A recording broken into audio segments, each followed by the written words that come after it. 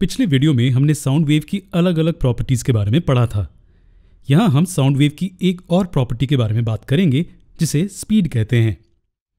Speed वो physical quantity है, जो बताती है कि कोई ऑब्जेक्ट कितनी तेज़ी से ट्रैवल कर सकता है। हम सब किसी भी ऑब्जेक्ट की स्पीड के जनरल फॉर्मूला को जानते हैं। ये क्या होता है? स्पीड दिए गए टाइम में दूरी होती है। एक वेव पर किसी भी पॉइंट द्वारा एक यूनिट टाइम में ट्रैवल किए गए डिस्टेंस को साउंड वेव की स्पीड कहते हैं। इसका क्या मतलब होता है? इसका मतलब कि अगर हम एक वेव पर कोई भी पॉइंट लें, जैसे कि ये मैक्सिमम डेंसिटी का पॉइंट तो इस पॉइंट द्वारा यूनिट टाइम में ट्रैवल किया गया डिस्टेंस साउंड वेव की स्पीड होगी।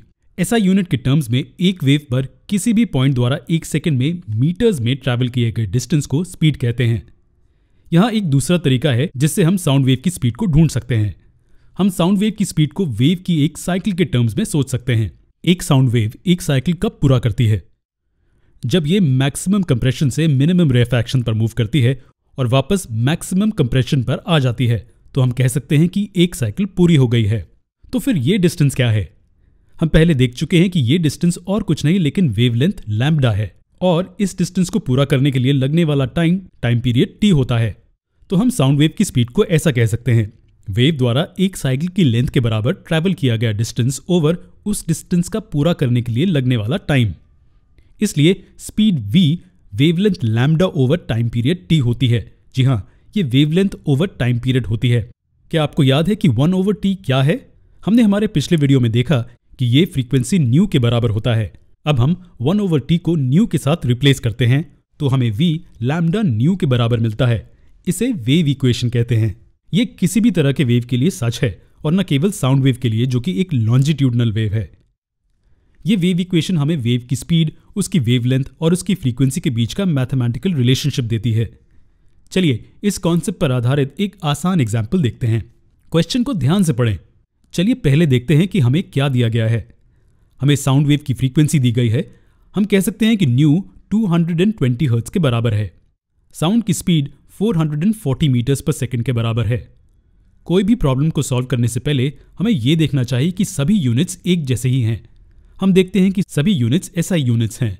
हमें वेवलेंथ कैलकुलेट करने के लिए कहा गया है, यानी कि हमें लैम्डा कैलकुलेट करने के लिए कहा गया है। हम इस फॉर्मूले को यूज़ करेंगे, जो और कुछ नहीं, लेकिन वेव इक्वेशन है, जो हमने अभी देखा। V लैम्डा टाइम्स न्यू के बराबर है।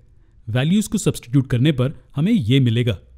दोनों साइड्स को 220 से डिवाइड करने पर हमें ये इक्वेशन मिलती है। अंत में हमें आंसर 2 मीटर्स मिलता है। वेवलेंथ के यूनिट को मत भूलिएगा। कभी कभी बारिश के मौसम के दौरान हम पहले बिजली को देखते हैं और फिर गड़गड़ाहट की आवाज़ सुनाई देती है। ये घटना हमें क्या बताती है?